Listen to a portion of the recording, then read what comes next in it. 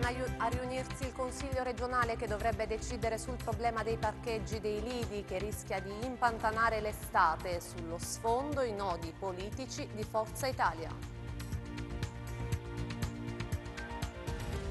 Puglia maglia nera sul fronte dell'inquinamento del mare al secondo posto solo dopo la campagna per reati connessi a inquinamento, gestione rifiuti, scarichi in mare e mala depurazione.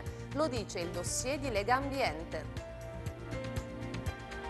La legge regionale pugliese salva Ricci è indispensabile, preoccupanti invece sono le motivazioni dell'impugnativa del Consiglio dei Ministri. Così l'associazione Italia Nostra, intanto arroca nei guai due pescatori pizzicati con le mani nel sacco.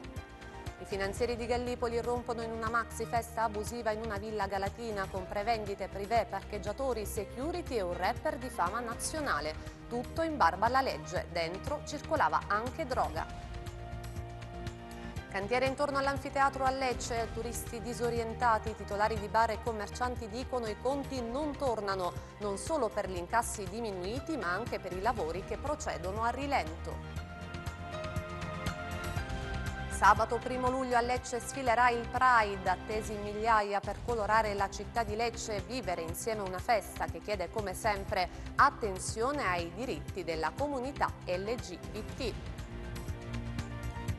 A Salice è inaugurato un Lecce Club intitolato all'amato collega Sergio Vantaggiato scomparso nel 2007. La motivazione? Una decisione di cuore e di passione per tenere sempre vivo il suo ricordo.